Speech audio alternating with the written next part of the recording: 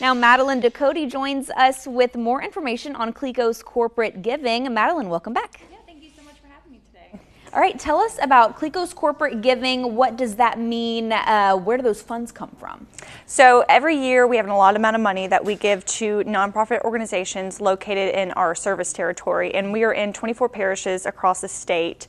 And last year we actually had the opportunity of funding over 600 different grant applications throughout the state. Wow, that is ama- 600. Yes, over 600, yeah. And how do you guys pick what types of organizations, or it really is just whatever types of applications you get? So we have our main focus areas, which is like STEM, education, poverty okay. solutions, environmental issues, a lot of community and education. Mm-hmm. Um, and pretty much organizations can go online at cleco.com backslash community and fill out our application there by clicking on the there's a giant apply for funds mm-hmm. button that they can click on and it's a short like three page um, application that they fill out just give us some information like their tax information mm-hmm. and what the funds would be used for um, but we fill as many applications as we can until we run out of funds which of mm-hmm. course we always do because we want to give it until it's gone right. yeah and I did visit that page you're talking about um, earlier, earlier, cleco.com. What is it, slash community? Backslash community, Backslash yes. community. And it seems like you guys also actually physically go out and volunteer. Yes, so we started our Dollars for Doers program about two years ago. And then last year we added a new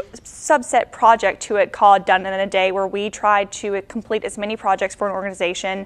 Um, and that's kind of why we encourage organizations to register their cause with Cleco because we use that database to actually find organizations to volunteer for mm. because I I work with them every day and they tell me, look, I we appreciate the donation, but we need just more manpower. You know, mm-hmm. we have only so many people in our office and so we saw this opportunity to give back even more and last year we actually completed over 4700 volunteer hours from our Cleco employees and we're hoping for more this year and that is just amazing. So again, local organizations, uh, well, not only to Acadiana, but all of the 24 parishes yes. that you guys service, organizations can apply. Again, cleco.com slash community. Um, and then also there is a chance that you guys will actually get to volunteer with the organization. Yes, absolutely. They can always email us at corpcom at that C-O-R-P-C-O-M-M